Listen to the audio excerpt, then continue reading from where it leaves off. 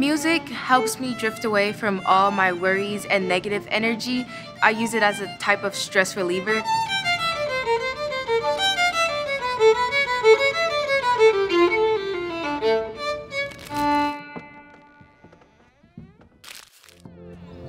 When I play violin, it like calms me.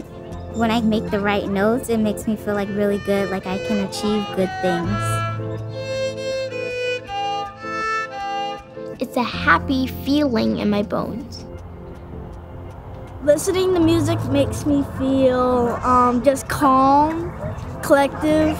Amazing. Happy, relaxed, exciting. I like the the sound of it and the way all the like parts just come together. You practice so much for like months and then you finally have the concert and you you get this feeling and it just feels so good when you play it.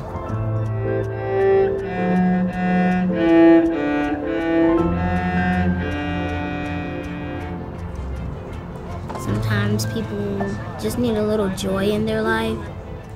Kids is the people I love, the people how like they treat you as their family and not just like a friend or anything. They actually love you and join you into their group.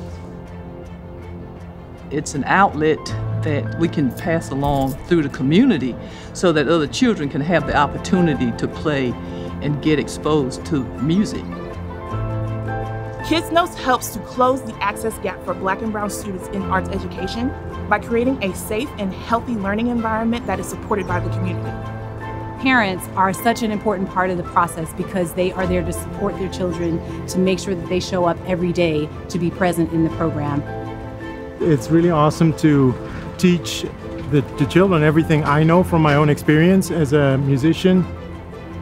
To hear them play and see all of their hard work coming together is just it's a wonderful feeling. Through El Sistema inspired principles of collaboration and community, Kidznotes students are self motivated and self activated to access joy through their orchestral community. I noticed that with her learning the violin, um, she's even more focused, um, very concentrated. Everyone can come together and share something that's beautiful and that's meaningful and really achieve something that they love that can carry into other parts of life. There is just something about this ability of social change through music education. This is what we're doing with these kids. At Kidznotes, we're not just teaching music, we're teaching students how to access their joy.